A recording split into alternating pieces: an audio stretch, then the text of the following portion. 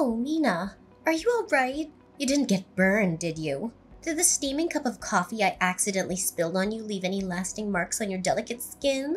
What you're saying is so ridiculous, you know? The coffee was scalding hot, fresh from the pot, and I do believe I now carry a few burn marks as souvenirs from our encounter. But did you know that even after that, your youngest son pulled me aside and started yelling at me too? Can you believe it? Oh, right. Yeah, that whole thing. What a mess, wasn't it? So maybe next time Henry should just be a little more careful to make sure things like this don't happen again? Beg your pardon? Are you being genuinely serious right now, Patina? Absolutely, Mina. You see, the crux of the matter lies in the fact that the coffee ended up splashed on you due to your own choices and actions. Surely you're aware of this, aren't you? What do you mean? All I did was visit the mother of my future husband to introduce myself before the wedding. And then all of a sudden you just threw your coffee at me and then threw me out of the house. I've never been treated like that before in my life. I don't even see how you could even try to put the blame for all this on me. You really don't understand, do you? Ugh, I would have thought that because you were a bit older, I wouldn't need to explain, but guess not, huh? Excuse me? And just what does that have to do with anything? Just how many years older are you than my dear Henry? You know that I'm eight years older than him. Well, that's my point, dear. Don't you think that's too much? It's a matter of. How should I put this? Let's call it freshness. That's why I could never bless the marriage between you and my son. Patina, I understand that I'm a bit older than your son, but while I'm 38, Henry's already 30. We're both grown adults, so I'm not really sure that the freshness is really all that big of a factor between us. Listen here, Mina. I'm Henry's mother, and I've already decided that the perfect bride for him is someone young and healthy. And I just feel like the eight year difference is too much. If it was in the other direction and you were eight years younger than Henry, well, then things might be different. But that isn't the case here. Are you serious right now? Did you really just say that? Are you listening to yourself? So you're saying that the only reason you won't bless Henry and I's wedding is because I'm not young enough for him, and that's it? well, that's right. I can't have my son marrying some old woman while he still has so much to live for. You understand, don't you? That's why I'm very sorry. But I'd appreciate it if you just gave up and left my son. Maybe it would be best for you to try and find someone closer in age to you who you could marry. You might have more luck that way. That's a horrible thing to say. I came all this way because Henry and I want to get married and be together. And to have all that thrown back in my face for some superficial reason like that, well, that's just unacceptable. I'd understand if you were a younger woman saying all of these things, but it really is different after a certain age. And 38 misses the mark by quite a bit. I think you need to be more realistic in your thinking. Curb your expectations and try to put away all your ideals. And I think you'll see that I'm right. I think I'm being completely realistic right now. Besides, do you think wanting your son to marry some young, healthy girl isn't some ideal in itself? Do you not see the hypocrisy? Excuse me? Are you trying to start a fight with me right now? No, of, of course not. Nothing like that, I promise. I'm just trying to understand and can't bring myself to. Okay, let me try and explain this to you. My two sons are my treasures who I painstakingly raised ever since the day they were born. And the hard work has paid off. Now, Henry's a successful businessman, excelling in his field, and his younger brother Jaden is about to start his new position at one of the most prestigious companies in the whole world. If I'm being honest, I just don't think that you're good enough for my little Henry. Do you understand what I'm saying? I just can't understand how you could honestly hold these views. I mean, are you even listening to yourself right now? Well, let me tell you that ever since my husband passed away, all I've had in my life are my boys. They are too precious to me, and I will not let my son marry you. I see. Please excuse me. I I have to talk to Henry about something for just a moment. But I'll let you know that no matter what you say, Henry and I have no intention of canceling our wedding. Oh, so that's how you're gonna be, huh? Well, I want you to know that I have no intention of ever blessing the pairing. So you can just go on in this vain little fight of yours because I'm not changing my mind either.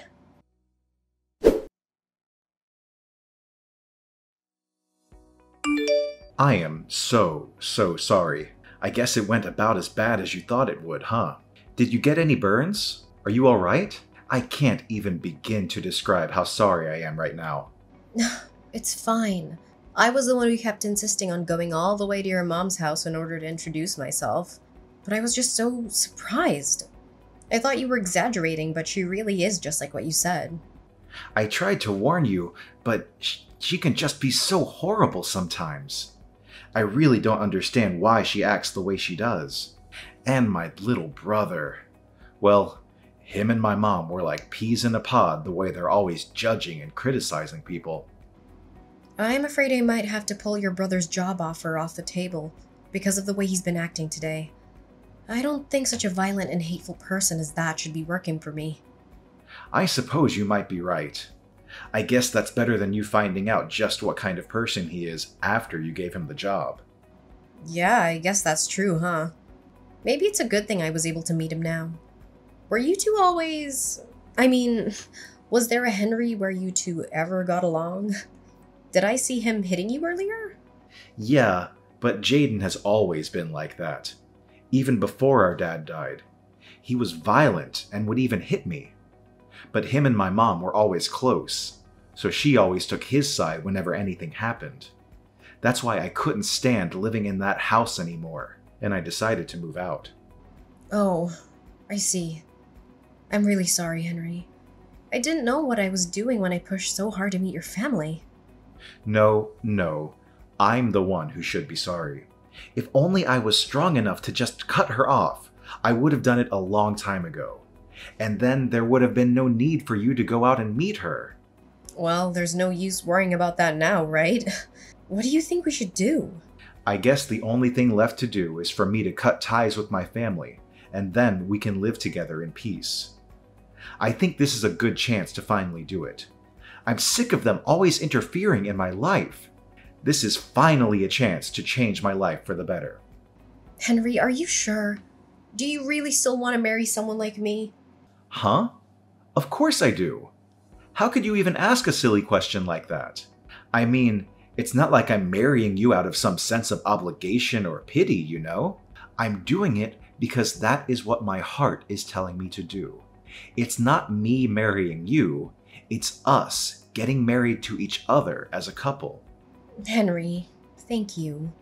And don't thank me for this either. Like I said, this is something that we're doing together. We're equal partners, aren't we? Of course we are. I'm sorry. I guess I've just suddenly become so nervous. Well, who wouldn't be after everything that you went through today? I just want you to know that no matter what happens, I do not care one bit about your age. Besides, it's not like I'm 16 years old and you're 24 years old. I'm 30 years old and you're 38 years old. I can't think of a legitimate or logical reason why anyone would have a problem with that. I feel the exact way. Well, anyways, I guess I'll have to tell your mom about Jaden's job. Yeah, that might be for the best. And then we can finally cut them out of our lives and the two of us can get married like we always wanted to.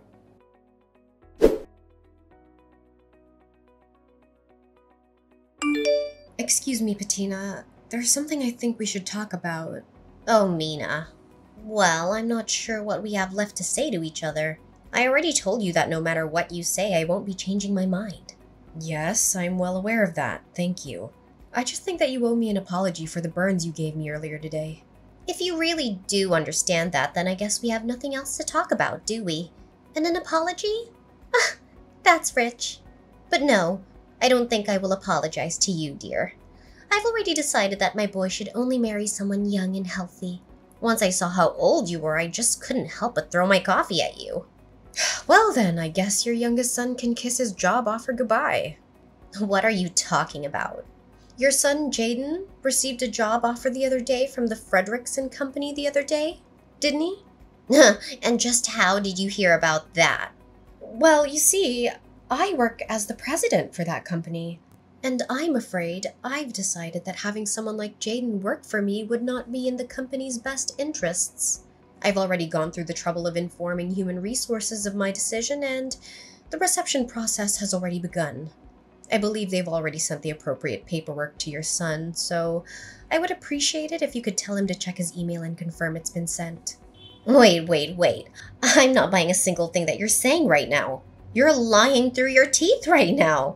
Do you really expect me to believe that you're actually the president of the Fredrickson Company? Did you really think I'd buy that? Do I look like an idiot to you? Well, yes, I suppose you're right on all of those counts. I'm not the actual president of the Fredrickson Company, but I am currently the company's acting president. And since the current president is about to retire, his authority is currently wielded by me, the former vice president of the company. Oh my, this lie is really unbecoming of you. And besides, I'm still not seeing any proof of this crazy story that you're trying to sell me right now. How about you go to the homepage of the company website? I'm sure that there you'll be able to find my name and picture under the board of directors directory. Oh, my. Oh dear. Y- you weren't lying. You're really the president of the Fredrickson Company? That's right. That's what I've been trying to tell you this whole time. Anyways, back to talking about Jaden's job offer. Like I just said, I've already set in motion the process for its cancellation, and there will be no appealing it. Do you understand what I'm saying? Wait, please, won't you reconsider? I never knew you were the president of a company. I swear I'll apologize for everything, so please don't go through with this. Uh, I'm afraid that we're far past that point. I don't need or want any apology from you any longer. But how can you be so cruel? Besides, this has nothing to do with work or the office. It's not fair. You can't be making these kinds of personal decisions for things that happen outside of work. I'm not firing him, though. I'm rescinding his job offer. Besides, in this day and age, it's more than reasonable for a boss to consider someone's behavior outside of work in these kinds of decisions. Did you not know that? What? No, of course not. And even so, please just give him another chance. After all, Jaden passed all your company's interviews, didn't he? Didn't you learn enough about him to hire him then? I don't get what's changed. Yes, he did perform quite well in the interview stages. However, after seeing how violently he acted earlier, I'm afraid that I'm left with no other choices but to do this. So that's why you snuck over here to spy on my own son in his own home? No, no.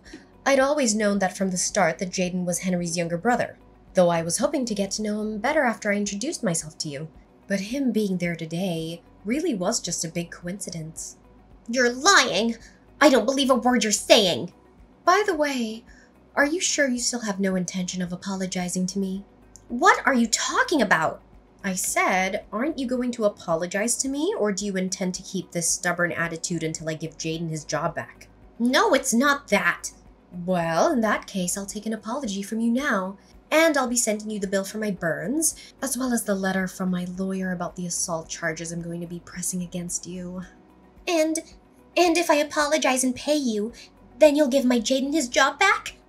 So you're saying that you won't apologize for something you did unless you're going to get something out of it. And that you're honestly going to reflect on your actions, but you can't even give an apology for its own sake. no, no, that's not it. I promise. I know what I did was wrong, and I'm sorry. Please believe me. I sincerely apologize for making fun of you and throwing my hot coffee on you. You do know that I got burns from that coffee, don't you? Oh, yeah, and for that, I am so deeply sorry. Medical bills, lawsuit, whatever you want, I promise I'll pay for all of it. Thank you for acknowledging what you did to me. And yes, it is only natural that you pay for things that you did. I'll be sending you an invoice for everything you owe. Make sure you send the money to Henry's account. Understand? So, is that it?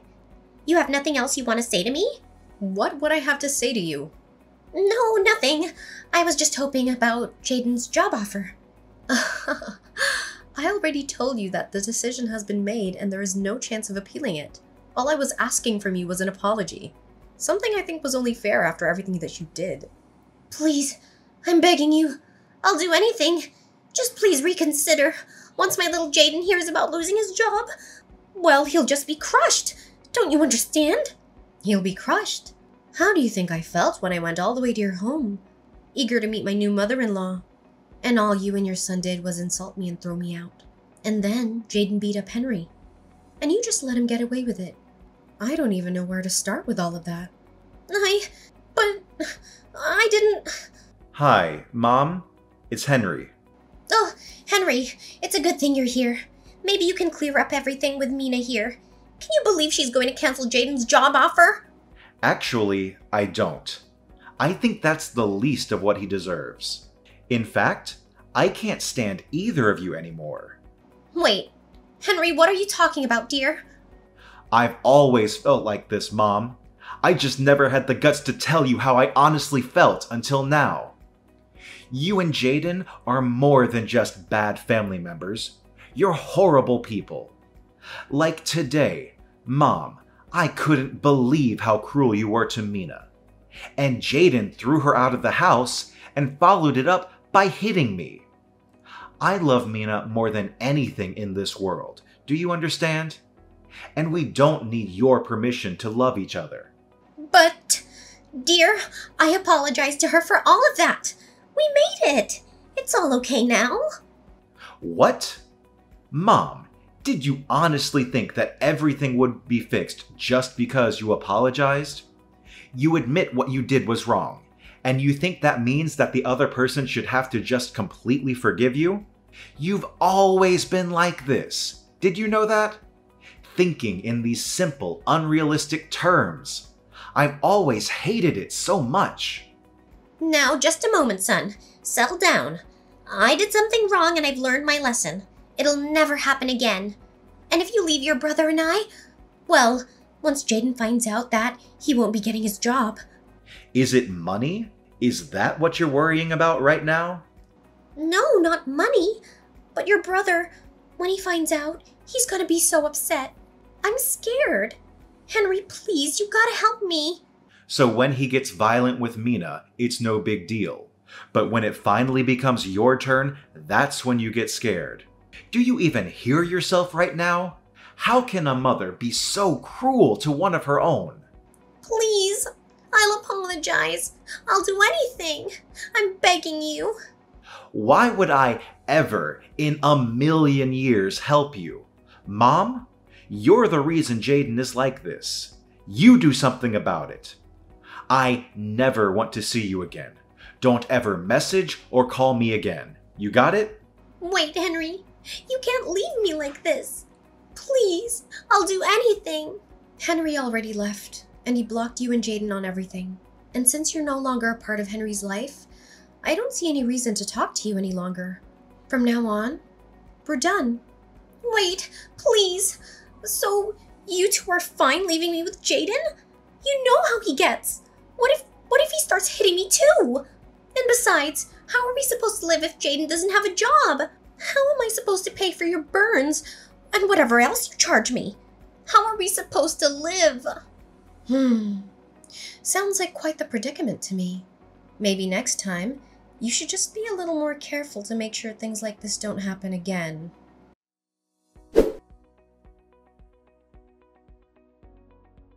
My life changed drastically after Patina's attack on me with hot coffee.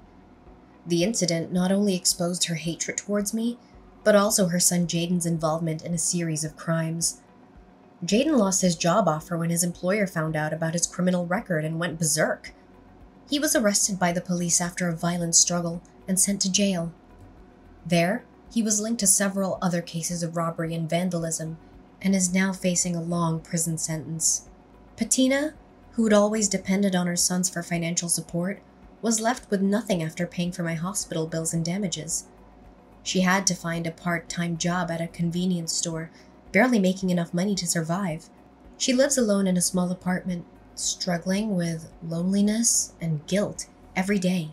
As for me, I finally got married to Henry after we cut off all contact with his mother and brother.